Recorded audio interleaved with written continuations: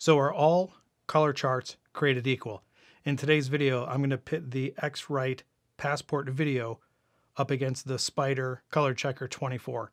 And I want you guys to let me know in the comments down below which color correction do you like best, or if you can tell the difference between the two. Let's get into today's video. Hey friends, Peter Fasciano here. Welcome back to my channel. I'm going to go ahead and put these two color checkers to the test. I'm going to set my camera back to 5200 Kelvin so we're at a even playing field. I'm currently shooting on the Cine style and I'm going to go through my process of color correction and exposure and white balance and we're going to see which one looks better. But first, let's go ahead and reset the camera to 5200 Kelvin. All right, now that it's set to 5200 Kelvin, let's go ahead and put these up against one another. So I'm going to start with the 18% gray. I'm going to do the same thing with the color side. Now move on to the passport, the X-Rite passport. All right, let's throw it into Premiere Pro and start doing the color corrections. All right, so the first things that I need to do is just explain my workstations. So I have preloaded down on my timeline the four individual cards uh, that I will be drawing a mask around to isolate them. I am in my color panel and I will be looking at the Lumetri scopes and the effects control. I'll be using the free draw pen to isolate around each of these cards and I'll be flipping back and forth between these two. The three scopes that I'm using, I have my Vectorscope YUV, which is this scope right here. I'm going to be using this to take a look at the saturation and luma. I have the Parade RGB, which is right here. I'm going to be using this to look at my white balance. And then the waveform is set to Luma. Down from the waveform type, I just selected Luma. And this is what I'm going to be taking a look at for my exposure. The panel off to the side is where I will be doing my adjustments for my white balance.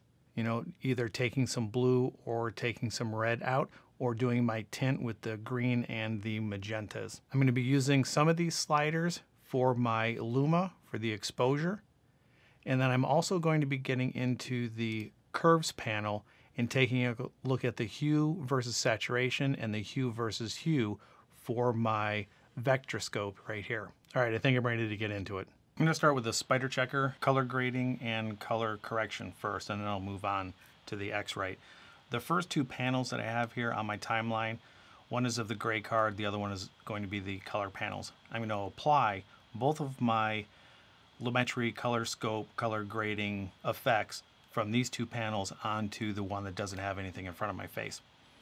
So in order to start out, again, just to make sure you guys understand this, color grading, color correction is a personal preference. There really is no uh, steadfast rule on what you're supposed to be doing. If you've done any research and you've looked online, everybody does this slightly different. This is just my uh, workflow. So here we go. The first thing I'm going to be, be doing is taking a look at my Lumetri scope Luma. I'm going to go ahead and hide the vector scope. I'm going to go to my effects control. I'm going to select my pen tool and I'm going to draw a mask around the 15% gray card of the SpyderChecker 24. This should draw a complete mask. It's going to hide everything else. When I go back to my Lumetri scope, you're going to see that this falls around, you know, 60 to, to 50. These are the IRE scales. Zero is absolute black, uh, 100 is absolute white. A gray card is in the middle, so you want this to land somewhere around 40 to have, you know, your correct exposure. So what I'm going to end up doing is opening up my color wheels. This is middle gray, so I'm going to go my middle tones, and I'm going to drag this down until this just touches 40. I'm pretty sure I had my exposure right in camera, so I'm just going to keep this right at about there. The next thing I need to do is take a look at my white balance. So I'm going to close my Luma and open up my RGB. If I expand this, you're going to see that the red channel is a little bit high, green and blue look pretty good. So I'm going to take my basic color correction with my white balance. I'm going to grab this eyedropper, click it into the gray card, and you're going to see that this just made a slight adjustment with it. I'm going to double check to make sure that I don't have anything leaning towards the blue or the red, the magenta or the green by opening up my vector scope YUV. I'm going to close my RGB. And this dot in the middle doesn't look like anything is poking out. Uh, if my white balance was incorrect, so this is at negative 8. If I increase towards the yellow and red channel, you're going to see that little blob come out here. If I go towards the blue, it's going to head towards blue. I want to make sure that that dot is dead center. So I'm going to go negative 8.0. So I think that looks pretty good to me right there. Now I have my exposure correct and my white balance. I'm going to open up my RGB and I'm going to open up my waveform for the next one. I'm going to go back to my effects control. Now I have my Lumetri color uh, all in this little area. I'm going to left click, right click. I'm going to copy this. I'm going to go to the next panel over, which is going to be my color squares. I'm going to paste that Lumetri color, which my white balance and my exposure was. I can turn this on and off and you can see how it changed this. So it's on. I'm going to go through the same process, but this time I'm going to be taking a look at just the Lumetri scope right here. So I'm going to go ahead and get rid of my parade and I'm going to get rid of my waveform. All of these little dots that are scattered around here are represented by all of these little color squares. I just want to isolate the red, magenta, the blue, cyan, just this square right here. So in order to do that, I'm going to increase this to 150. So I have the ability to draw. I'm going to go to my effects control. I'm going to click on my opacity and I'm going to draw a mask around these colors. If I don't get it perfect, it's okay because I can adjust it. Just drag these corners. So everything is here. And it's important to note that the Color Checker 24, these are full saturation color color squares. The X-Rite are 50% saturation, so you're going to see that difference here in a little bit. Now that I have my mask drawn, I'm going to go back to my Lumetri scope, and now you can see that each one of these is pointing directly at its corresponding color. I'm going to go to my basic color correction and increase my saturation so you can see that not all of them are falling directly on a color. And this is where the curves come in. So I'm going to click on my curves. I'm going to scroll down to hue versus hue. Each one of these white lines is going to be represented by one of these colors. So I have a blue, the magenta, the red, the yellow, the cyan, or that's green, and cyan. I'm going to click, I'm going to press shift and click on one of these colors, and I want you to watch what happens to the bar. So right now I'm on blue. Watch what happens to blue as I adjust it. It's going to move one way or another. I want to make sure that I get it directly pointing at blue. I'm going to do the same thing with magenta. I'm going to make sure magenta is pointed there. Cyan needs to be moved just a little bit. Looks like green's okay. Yellow needs to be adjusted, so I'm click shift and move yellow, wrong way. And small little changes will move these lines quite a bit. Red looks like it needs to be changed a little bit.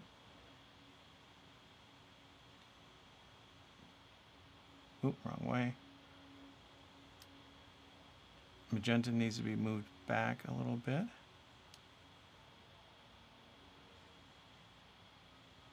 Right there. All right, so that looks pretty good. I'm gonna go back up to my basic correction and double click on saturation to bring that back to normal. Now, if any of these bars reach past this little uh, parameter here, then obviously you're oversaturated and I think it has something to do with like broadcast signal. So just make sure that your final product, uh, all of your colors fall within this little area. I'm going to go back now to fit, I'm going to get rid of my mask by going to the effects control. I'm going to delete my mask. So this Lumetri color panel now has everything contained in it. It has all of the changes that I made. I'm going to go ahead and click on it. I'm going to right click my mouse. I'm going to copy this and I'm going to go to the frame and paste it in here just so you can kind of see what it looks like. Now to me this looks a little bit dark. So this is where the color grading comes in. You can now adjust contrast, exposure, whites, blacks to kind of uh, give it a certain look the way that you want to give it. I'm not going to do any of that because I want to compare this to the X-Rite. So let's now go ahead and move on to the X-Rite and do the exact same thing with it. I have a couple of things to point out on the X-Rite color checker. All right, starting with the X-Rite, you can tell that there is a little bit of a difference between the selections of our gray card as opposed to the SpyderChecker. Spider checker, we only had the gray card. With the X-Rite, not only do we have the gray card in the middle, but we do have something to help us with a little bit of our contrast or our exposure. We have our blacks and we have our whites. So to start off with, I'm going to go through the same process. I'm going to start with the exposure, then do white balance, and then do color correction. So just like before, I'm going to be in my Lumetri scopes and my effects panel. I'm going to enlarge this because the passport's smaller to 200 and get this in view. I'm going to take my opacity pen tool and I'm going to draw a frame around all three of these tones, or the grays. I'm going to go to my Lumetri scope. I'm going to open up my Luma, and I'm going to close my Vectorscope. So taking a look at this, so taking a look at the Luma, the white that's on the card should rest somewhere around 80, which we're pretty close. My middle gray should be somewhere in between 50 and 40, and then the black, that glossy black, I'm going to try to keep it around 10 uh, because if I drop it too much, I'm going to start to lose details in my blacks. And I believe that glossy black is like pure black uh, if you if you lower it all the way uh, just above the zero.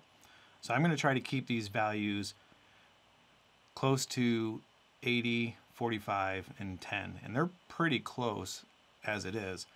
So let me go ahead and go to my color wheels. I'm going to start with the midtones and just bring those down a little bit until I get a little bit under 50. I'm going to take my highlights, which is the white card right here. I'm going to bring that up to about 80 and then the blacks are my shadows and I'm to drop or actually you know I'm to leave them right there because it's in between 0 and 10 I think I'm just to leave it like that maybe drop the midtones a little bit and raise the highlights a little bit more yeah I think that looks good I'm to go back to my effects control. I'm to select my mask. I'm to delete my mask because in order for me to copy and paste, in order for me to copy and paste onto my white balance, I kind of want to see what I'm going to do because it's the next card down. So this is going to be my white balance. Before I end up doing that, I want to copy my Lumetri color with my exposure into my white balance. And just to keep it consistent, I'm going to go ahead and delete this one. So now I'm at my, my white balance. I'm going to be in my effects control. I'm going to draw a mask around my white card or the white balance checker. And you can tell this one's a little bit brighter than the gray card. So our exposure should be a little higher on this one if I take a look at my Lumetri scope. So yeah, so that's sitting up 70 and I think the other one was somewhere around uh, below 60. So to do my white balance, remember I need my Parade RGB. I'm going to hide my waveform. And just like the last one, the green, right, the red's a little high, green's a little low, and blue's a little a little higher than the green. The last one, the green and the blue were almost even, and the red channel was a little high. So this one, I'm going to do the same thing. I'm going to go to my basic color correction. I'm going to select my white balance eyedropper and I'm going to click into the center of that. Take a look at this one again and these evened out pretty well just to double check, I'm going to head over to my vector scope YUV, hide my parade, and again, that center dot is in the middle. There's nothing reaching out, so I don't have any color cast, so it looks like my white balance is good. Go back to my effects control. I'm going to delete my mask. I'm going to set this back to fit. I'm going to copy and paste my new Lumetri color panel into or back into where the color squares are now. So this one is now going to contain my white balance and my exposure. And you can see by turning it on and off what it has done. Now what I want to do is turn my Lumetri scope, okay it is, it's on the, the vector scope, YUV. I'm going to go to my effects control and I'm going to select my opacity pen free draw. I'm going to increase this because the chips are really small. I'm going to go to 400 and I'm going to do my colors just like it did on the last one. If they're not perfect, I'm able to adjust them, but that looks fine. And if you notice, the color chips are less saturated. If you remember what I said before, these are 50% saturated, whereas the chips for the Datacolor are fully saturated. So I'm good there. I got my mask, got my vector scope, and now you can see that the saturation is, is much lower than it was on the previous one. I'm going to go to my basic corrections. I'm going to increase my saturation. I want to make sure that these things are lining up. And wow. Yeah, so these look pretty good with the exception of blue. If you remember on the other one, we had magenta and yellow and cyan. Those were all off. This one looks pretty good. So I'm going to go ahead and take my blue under my curves. Remember, we're looking hue versus hue. So I'm going to go, I'm going to click blue. I'm going to click magenta, red, yellow, green, and cyan. And if you don't click these, then it's going to move the entire line. And again, I want to push shift on my keyboard and then click on the blue and I'm going to lower it or raise it to get the blue lined up and that looks fine. I don't really need to touch anything else. So now I'm going to go back to my basic color correction. I'm going to redo or double click to get my saturation back to normal. I'm going to go to my effects control and delete my mask. I'm going to set this back to fit. Now I have my color correction, my exposure, and my white balance all contained with this Lumetri color. I'm going to click on it and I'm going to copy it to the last tile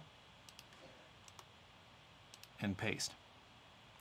So now if I go back and forth, this tile was a SpyderChecker, 24, and then this selection is the X-Rite.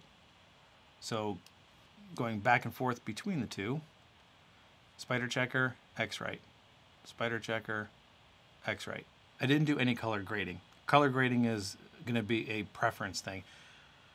So I just wanted to take a look at the basic corrections, white balance, and exposure. And what do you guys think? Put some comments down below. Do you like the SpyderChecker or do you like the X-Rite results?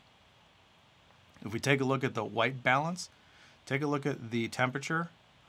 The temperature of the SpyderChecker is at negative 8 and it's negative 6.4.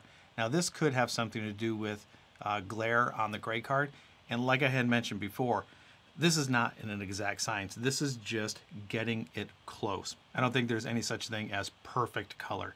And speaking of perfect color correction, I want to jump in here before we get to the color grading part of this. And first of all, thank everybody that is still sticking around. I know this is a long one, about 20 minutes or so. I'm almost done. But I want to give you a couple of reminders. Number one, this is working with picture profiles and JPEGs. This doesn't necessarily work with or have anything to do with picture taking in RAW and shooting in RAW. That's a completely different beast. And the next thing is if you're working with data from a video file or a picture, the reason why you're using the scopes is because you're working with the data that's being captured with the video and the picture. You really kind of want to hesitate. Don't really focus in on your monitor and what your monitor is telling you to do.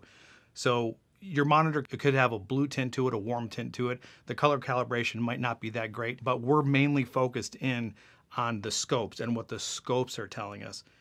Datacolor makes a uh, monitor calibration tool. I'll link that in the description along with both of these uh, color cards. Be prepared; they're they're expensive, uh, especially for what you think they should be. Now they do have uh, inexpensive gray cards that I think that are ten dollars, but the SpyderChecker 24 that I'm using came with the SpyderChecker um, monitor um, calibration tool. And then the passport, I believe, is a- above $100 at the time of making this video. And then X-Rite also makes a larger calibration chart as well. So just be be prepared for the uh, the sticker shock. These are not uh, cheap tools, and it may be warranted, it may not, and that's another thing that I want to kind of stress uh, to you guys. Color correction and color grading may not necessarily be for everybody. This is not something that you absolutely 100% need to do. Coming from a YouTuber, I only recently started getting into color correction and color grading about a year ago, maybe a little bit a little bit longer than that. But up until uh, this point, it doesn't really matter. Uh, do people care? So post some comments down below. Do you really look at the color science that that somebody has on their videos and it does does it really make that much of a difference to you in your own videos? The picture profiles on canon might be good enough. The colors that are coming out of canon might be good enough. You might not want to do anything other than just maybe punch it up a little bit and you know give it some extra contrast and that might be enough for you. So all of this is subjective. I sound like a broken record here and it's it all boils down to what you want to do now, I'm also going to tell you, and I think I mentioned this earlier, don't rely on all the stuff that I'm telling you. Hopefully, if you've gotten to this point, you're getting something out of it. And maybe you can take away one or two points that you may have not known before or considered. My flow, my workflow is different than other people's workflow. Mine might sound a little bit more complicated, somebody else's might be a little bit better for you. So do your own research, get out there and look at a ton of people and see if anything that they do works better for you than what I'm doing. So with all that being said, now let's go ahead and move on to the color grading, which is putting a flare or your own individual style onto your footage rather than focusing in on proper colors. Moving on to color grading. This is all preference. You're gonna do what you like uh, to the footage to put your fingerprint on it to make it look like what you want it to look like. The two clips that I have here loaded up is from earlier in my video, so I have the color cards. I don't have that goofy look on my face. Now I, am just goofy because that's just my face. Taking a look at these two clips, the first one is the SpyderChecker. The second one is the X-Rite. Now, taking a look at my waveform Luma, you can see that the uh, the Checker 24 is a little bit lower in exposure than the X-Rite. And I can go ahead and change all this. Now from this point forward, my suggestion would be don't put all of the adjustments on your already color corrected footage. Create an adjustment layer and put it on top.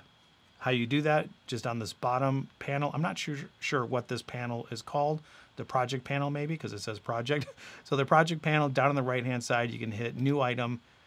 Go ahead and create an adjustment layer name it whatever you want or don't, and then just take the adjustment layer and put it on top of your footage.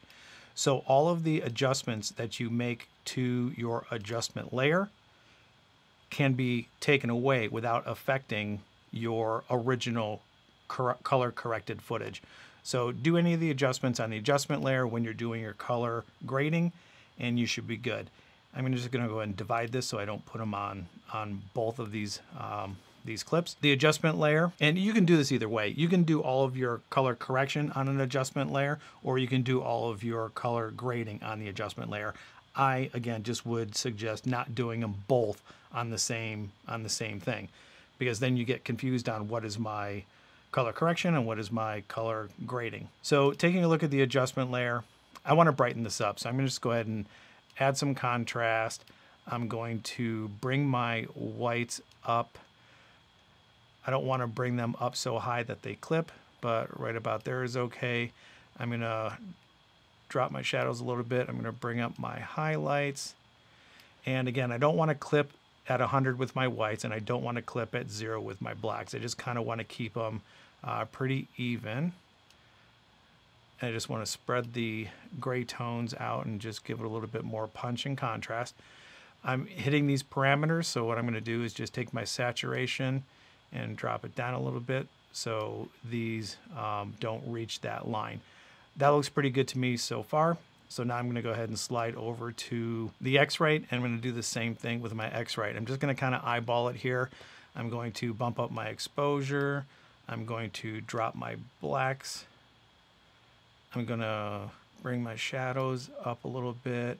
I'm to bring my highlights up a little bit. Contrast, yeah, let's contrast a little bit. So I'm to go ahead and leave it at there. I'm hitting uh, pretty close to this border, so I'm going to take my saturation and just lower my saturation, you know, down a little bit. And I'm pretty happy with that one as well. And that's all I do for my color grading. Just kind of get it to the way that I want it to look and just go with that. Oop, and you can you see what I did? I did everything on this one. So now I have no idea what my color correction was as opposed to my color grading. See, heeding my own, not heeding my advice. And again, I, I don't know uh, what I had going there. So what I what I'm going to do is I'm just going to delete this entire thing. I'm going to find the clip that I had my color corrections on from my goofy face, which I believe was this one. Oh, it was this one. So I'm going to take this one, I'm going to copy it. I'm going to go back and go back to my clip. I'm going to select my my original footage. I'm going to put my color correction on that one, click on the adjustment layer, and now I'm going to go through all of my adjustments again. So take a look at my Lumetri scope. Well, I'm not going to sit here and uh, recorrect what I, what I just got wrong. You guys get the idea. So that's where I'm going to leave it today. Um, do all those things that you normally do if you guys have made it this far. Like, share, subscribe, comment down below. If you're not a subscriber and you kind of dig this information, go ahead and uh, consider clicking that subscribe button. And I think that's where I'm going to leave it today. So I'll see everybody in the next one. Bye.